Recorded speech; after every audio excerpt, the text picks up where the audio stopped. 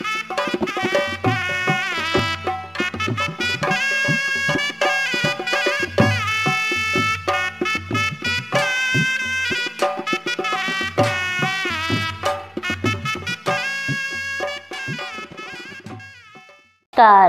Anupama Srivastava channel में आपका स्वागत है।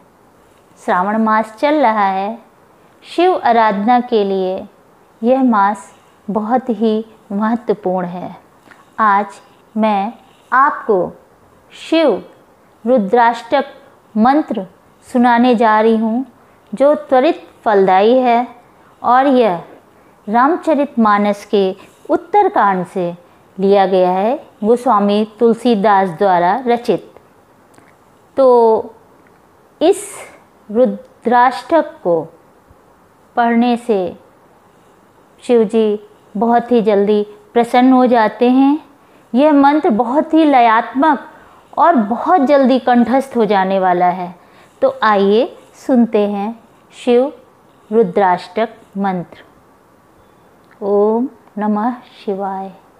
नमामीशमीशानि निर्वाणरूपं विभुं व्यापकं ब्रह्मवेदस्वरूपं निजं निर्गुणं निर्विकल्पं निरीहं चिदाकाशिमाकाशिवासं भजेऽहं निराकार ओंकार ओङ्कारमूलं तुरीयं।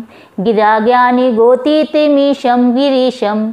करालं महाकालकालं कृपालं गुणागारि संसारि पारं नतोऽहं।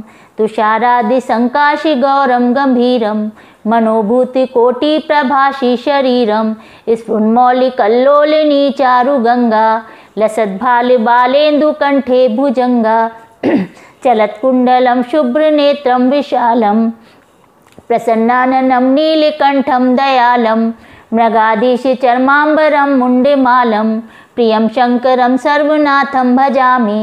प्रचण्डं प्रकष्टं, प्रगल्भं परेशम् अखण्डम् अजं भानुकोटिप्रकाशं त्रयाशूलनिर्मूलनं, शूलपाणिं भजेऽहं भवानीपतिं, भावगम्यं, कलातीतकल्याणकल्पान्तकारी सदा सज्जनानन्ददाता पुरारी चिदानंद संदोह मोहापुहारी प्रसीद प्रसीद प्रभो मन्मथारी न यावत् उमानाथपादारविन्दं भजन्ति हि लोके परे वा नाराणां न सुखं शान्तिसन्तापनाशं प्रसीद प्रभो सर्वभूतादिवासं।